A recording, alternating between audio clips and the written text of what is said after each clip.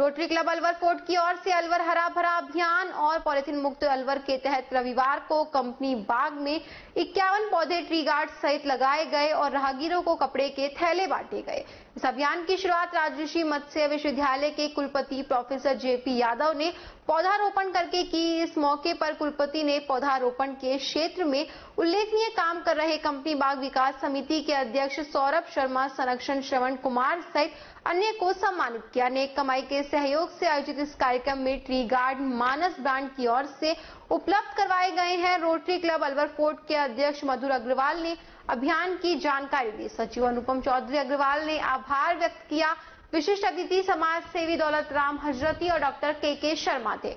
इस मौके पर नेक कमाई के मुख्य coordinator Abhishek Taneja, Ashutosh Sharma Ajay Anand Goyal, Anuj Mahawar Arpit Gupta Alwar cycling club के भवनेश मुखीजा सहित अन्य मौजूद रहे। इस मौके पर कुलपति जेपी यादव ने कहा कि विश्वविद्यालय की ओर से सभी कॉलेज में पौधारोपण अभियान चलेगा। रोटरी क्लब अलवर फोर्ट के समाज सेवी कार्यों से राष्ट्रीय सेवा योजना के विद्यार्थियों को जोड़ा जाएगा। कार्यक्रम में डॉक्टर गोपाल राय चौधरी ट्रस्ट का भी सहयोग रहा।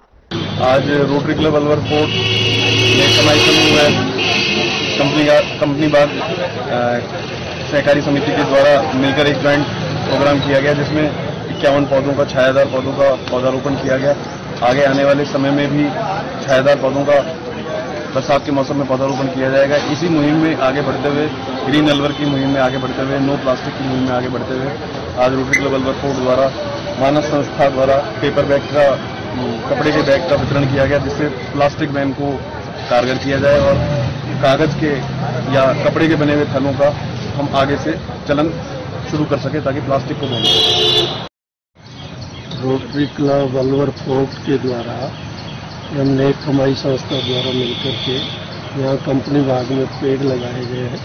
निश्चित रूप से पेड़ एक ऐसी चीज़ है कि जिससे पर्यावरण अच्छा होगा, वातावरण अच्छा होगा, हमको ऑक्सीजन मिलेगी। ये एक बहुत ही अच्छा काम है जनसेवा का, इससे अच्छा काम हो नहीं सकता। और साथ ही इन लोगों ने अभी प्लास्टिक को बैन सरकार ने किया है, ये बहुत नुकसानदायक है प्लास्टिक। इसके लिए इन्होंने कैरी बैग्स बांटने का भी एक अभियान शुरू किया है। एक बहुत अच्छी शुरुआत है। कैरी बैग लोगों के पास होंगे तो उनको प्लास्टिक के उसकी ज़रूरत ही नहीं पड़ेगी और धीरे धीरे लोगों की आदत पड़ जाएगी। मैं रोटरी क्लब के साथियों को और एक कमाई समूह के साथियों को, मुझे कई बार इनके कार्यक्रमों में जाने का अवसर मिलता है और मुझे बहुत अच्छा लगता है कि ये समाज सेवा के काम हर तरह के कामों में बहुत उत्साह के साथ भाग लेते हैं। मैं सभी पदाधिकारियों को, सभी जो सदस्य हैं, सभी सक्रिय रूप से जुड़े साथी हैं, उन सबको बधाई देता हूँ कि अलवर में एक अच्छा काम की शुरुआत करी गई है और ये शुरुआत ज़िले में, प्रदेश में, देश में आगे बढ़ेगी। इससे प्लास्टिक पे भी प्रतिबंध लगेगा और पेड़ों के जो हरा भरा अलवर का, हमारा विश्वविद्यालय का अभियान था, उसमें भी इनका योगदान है मैं आभारी हूँ इन सबका। इनको बहुत बहुत बधाई। देता